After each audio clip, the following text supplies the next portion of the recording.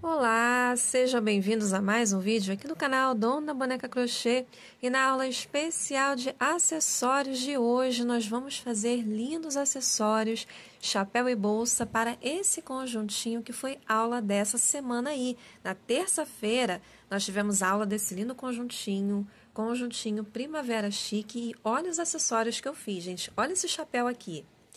Olha a aba desse chapéu com esse pontinho vazado. É o mesmo pontinho que eu utilizei para fazer o barrado aqui da blusinha e o barradinho aqui da saia, os arquinhos, que eu chamo de pontinho vazado. O que, que vocês acharam desse chapéu, gente? Olha só na mão, que coisa mais linda.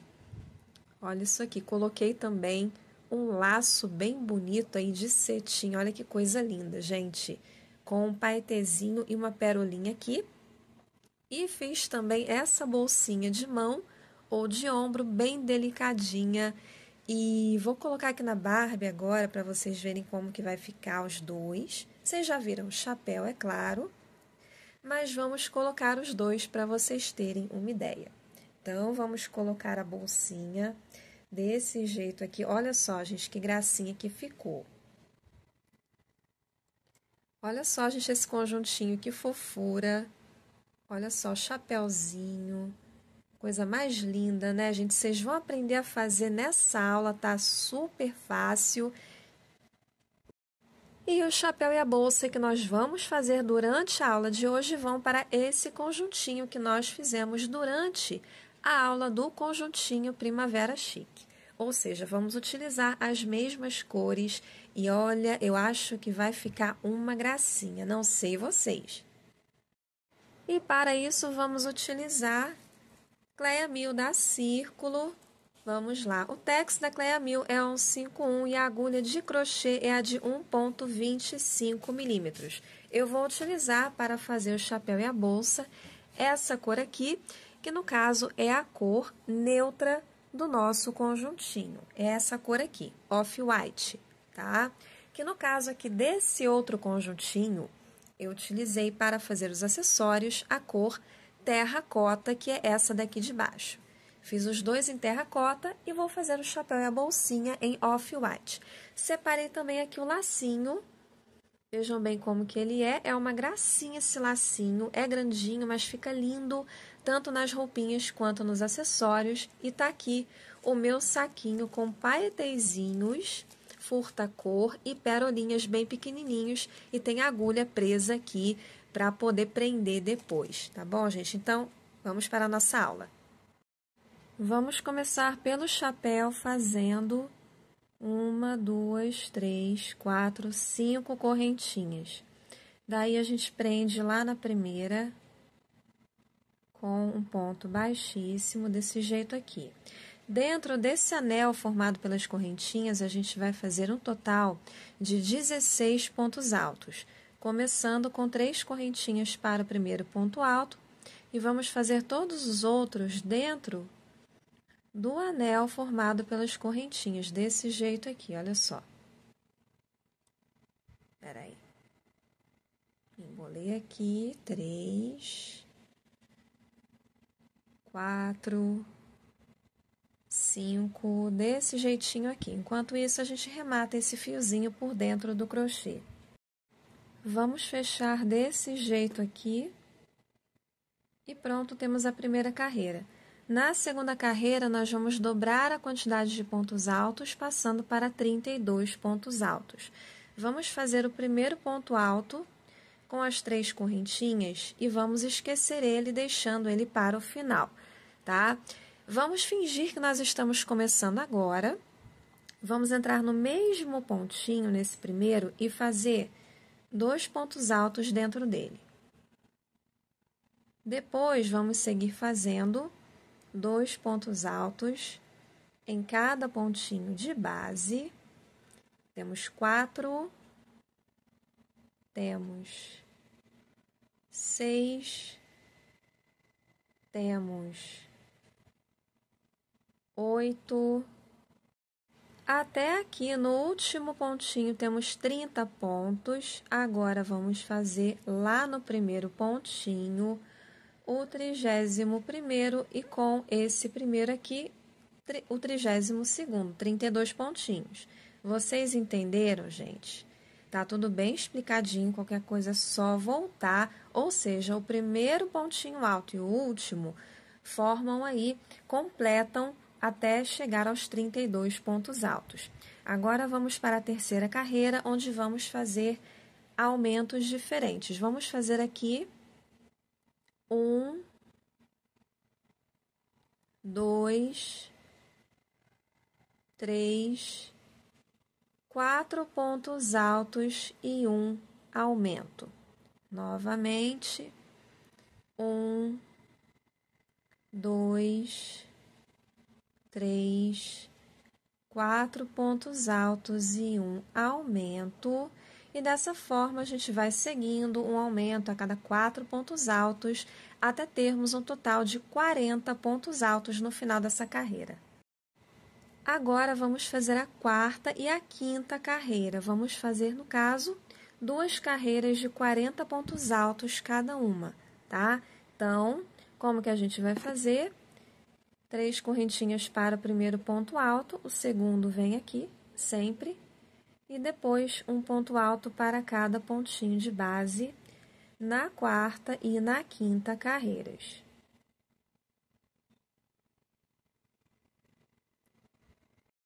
Depois dessas cinco carreiras em pontos altos, vamos fazer três carreiras em pontos baixos, ponto sobre ponto, certo? Então, uma correntinha para o primeiro ponto baixo, o segundo aqui, e vamos fazendo. Como aqui temos 40 pontos, vamos fazer 40 pontos baixos, e no total vamos fazer três carreiras de 40 pontos baixos cada uma. Essas três carreiras de pontos baixos servem para deixar o chapéu mais armadinho, para fixar o chapéu melhor na cabeça da Barbie. E temos aqui essa parte pronta das três carreirinhas de pontos baixos. E isso que eu falei com vocês faz o chapéu ficar, ó, bem firminho Fica bem firme na cabeça da Barbie também, esse é o segredo. Agora a gente vai começar a fazer a aba, essa aba linda que vocês viram, que é super facinha de fazer. Nesse pontinho mesmo, vamos começar fazendo uma, duas, três, quatro correntinhas e vamos prender nesse pontinho aqui. Vamos pular esse e prender nesse com um ponto baixo. Agora, a gente vai fazer três correntinhas, pula um pontinho e prende no próximo com um ponto baixo. Uma, duas, três correntinhas, pula um pontinho e prende no próximo com um ponto baixo. E a gente vai fazendo esse pontinho nessa primeira carreirinha da aba, em toda a volta, e vocês vão começar a ver daqui a pouquinho o resultado lindo que vai ficar nesse chapéu. E o último arquinho a gente vai prender onde? Lá na primeira correntinha, que equivale a um ponto baixo. Deixa eu tentar encaixar aqui, peraí. Consegui. Desse jeito aqui, deixa eu puxar. Gente, meu ponto é bem apertado, tá? Não ligue, então ficou assim. Temos aqui um total de 20 arquinhos com três correntinhas cada um. E agora a gente vai repetir essa carreira, ou seja, vamos fazer mais 20 arquinhos com três correntes cada um, tá? Então, como que a gente vai fazer a próxima carreira? Vamos esticar assim um pouquinho, vamos passar duas vezes assim com ponto baixíssimo até chegar no meio desse primeiro arquinho. E aqui a gente começa tudo de novo, repetindo a primeira carreira. Para o primeiro arquinho, a gente vai fazer as quatro correntinhas, porque a primeira equivale a um ponto baixo. Aí prende no próximo arquinho com ponto baixo. E agora em diante, três correntinhas, prende com ponto baixo, três correntinhas, prende com ponto baixo. E já nessa segunda carreira, vocês vão ver como que esse chapéuzinho vai ficar lindo. Primeira vez que estamos fazendo ele aqui no nosso canal com esse pontinho lindo. E ficou assim, vejam só. Vejam como que já está ficando bonitinho o nosso chapéu. Agora, na terceira carreira, nós vamos fazer um aumento, deixa eu passar aqui, ponto baixíssimo. Nós vamos passar as correntinhas de três para quatro correntinhas, os arquinhos, três para quatro correntinhas. Então, vamos lá. Nessa primeira correntinha vão ser um, dois, três, quatro, cinco, ponto baixo, e as próximas uma, duas, três, quatro, tá? Uma, duas, três, quatro. Porque agora a gente precisa abrir a aba. O que, que significa abrir a aba? Se a gente continuar fazendo assim, a aba vai ficar o quê? Reta, para baixo. Então, a gente precisa abrir. Por isso, precisa fazer os aumentos. E eu testei esse chapéu, gente, várias vezes. E a forma certinha de aumentar é exatamente essa que eu estou trazendo como novidade aqui para vocês e espero de coração que vocês estejam gostando dessa aula. E agora nós vamos repetir essa terceira carreirinha mais duas vezes, ou seja, vamos fazer arquinhos de quatro correntinhas.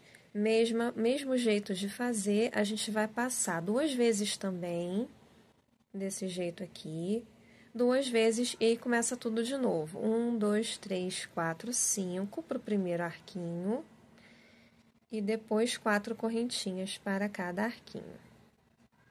Tá? Eu vou fazer aqui e já volto com vocês. E olhem só como está ficando lindo o nosso chapéuzinho, gente.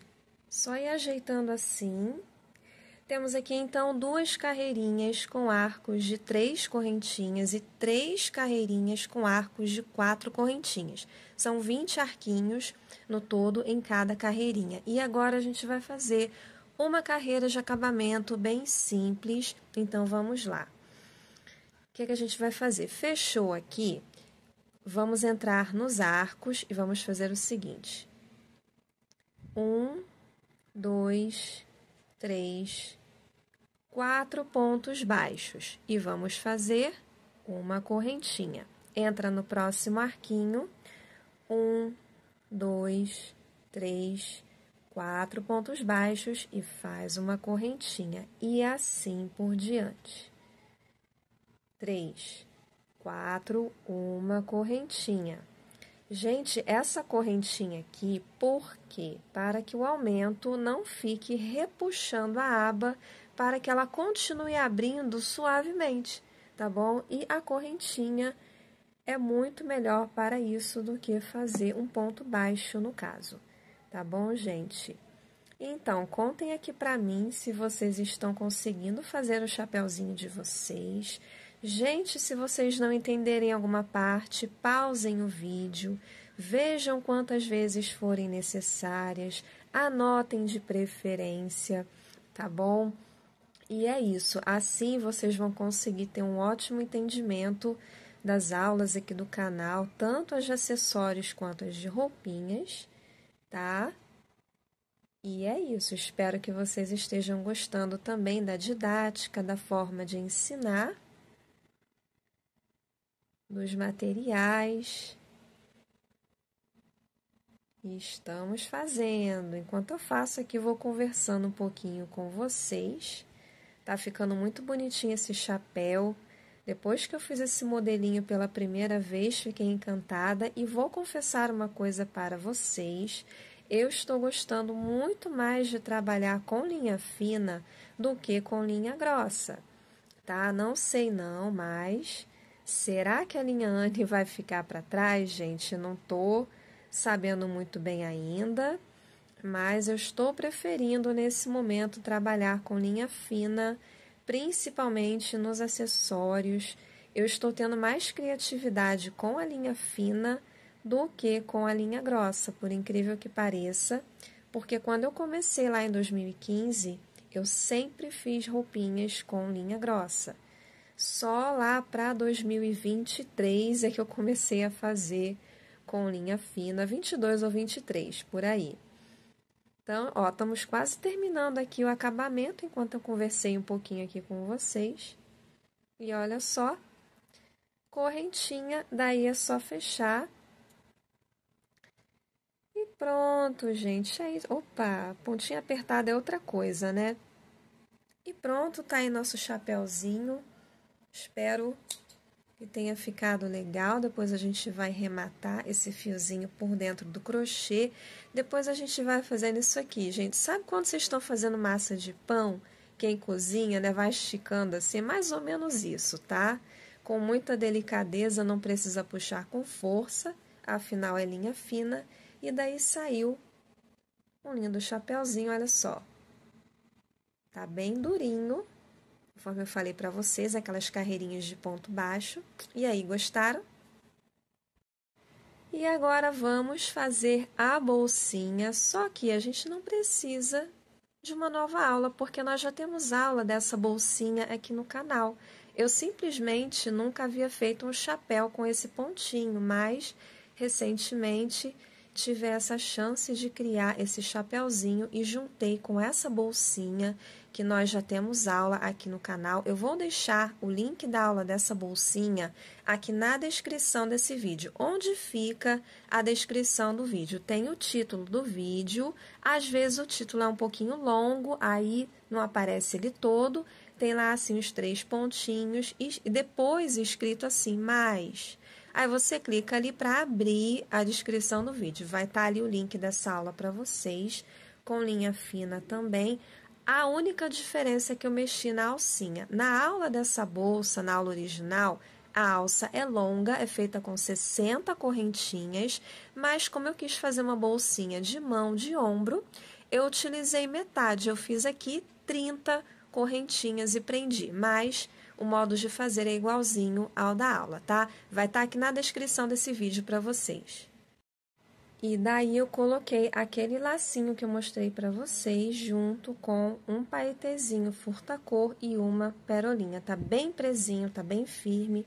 Primeiro eu prendo bastante o lacinho com linha da mesma cor e depois eu passo o paetê e a pérola e prendo e dou um nozinho bem aqui atrás, tá? Num pontinho e fica desse jeito aqui. Recomendo que vocês usem esse modelo de lacinho aqui. Vocês podem até tirar um print da tela para comprarem igualzinho, porque esse lacinho, gente, ele é grandinho, então dá um visual muito legal tanto na roupinha quanto no acessório. recomendo bastante para vocês. Vamos ver como é que vai ficar na Barbie esse kit? Vamos lá. Vamos colocar a bolsinha primeiro. Gente, esse esse kit aqui com essa com esse conjuntinho, esses acessórios, está muito bonito, né? Eu adorei. Deixa eu ver aqui. Colocar o lacinho meio de lado. Olha só, gente, aí vocês arrumam a aba assim para aparecer o rostinho dela. Olha só que gracinha que ficou, gente. Olha só isso aqui. Deixa eu ver aqui. Olha só que lindo, gente. Para vocês fazerem aquelas fotos Gente, esse, esse kit aqui com esse conjuntinho e esses acessórios estão maravilhosos. Esse conjuntinho foi aula dessa semana. Procurem aqui no canal. Foi aula passada. Façam porque vocês vão adorar. Deixa eu ver se assim fica bom também. Gente, adorei com essas cores rosa e off-white. Ficou lindo de viver. Vou colocar os dois aqui para vocês, tá lado a lado para vocês me dizerem qual que vocês gostaram mais. Será que cabe? Deixa eu ver. Cabe, gente, olha só que bacana. Esse modelinho, gente, é o modelinho Primavera Chique, tá? Tanto o conjuntinho quanto os acessórios. Kit Primavera Chique aí para vocês. Espero que vocês tenham de coração gostado aí de mais essa aula especial de acessórios e é isso por hoje, tá bom, gente? Muito obrigada por assistirem. Fiquem todos com Deus. Um beijo no coração de cada um de vocês e até o próximo vídeo aqui do canal. Tchau, tchau.